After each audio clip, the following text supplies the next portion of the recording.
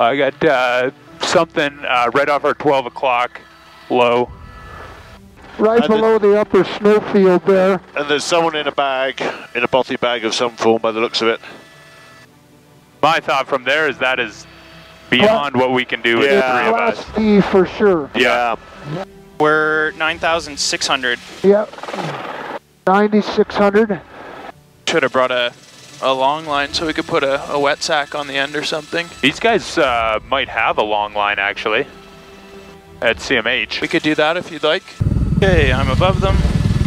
And we're coming down.